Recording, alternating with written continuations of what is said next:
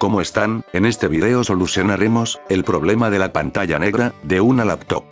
Comencemos. Lo primero que tienen que hacer es encender la laptop. Como ven, ha encendido, pero la pantalla se quedó en negro. Apagamos, dejando presionado por unos segundos el botón de la laptop. Y ponemos la laptop boca abajo. Para ahorrar tiempo, yo he quitado la tapa.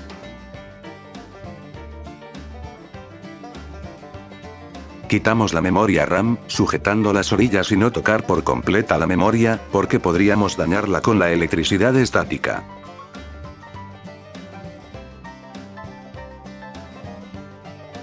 Una vez que la quitamos, la limpiaremos con un borrador.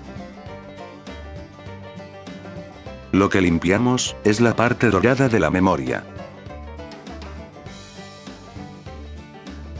Terminamos, ahora instalamos la memoria donde estaba. Tienen que colocarla con cuidado, para no dañarla y cuidar que no se raye, lo dorado de la memoria RAM.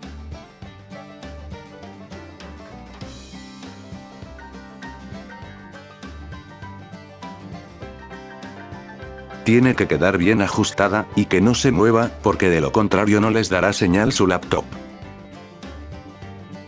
Listo, hemos colocado sin problemas la memoria. Ahora lo que tienen que hacer es encender la laptop y la pantalla se verá, sin ningún problema. Si te ayudó el video, dale like y compártelo en redes sociales, estarías ayudando a mucha gente a solucionar el mismo problema. No olvides suscribirte. Gracias.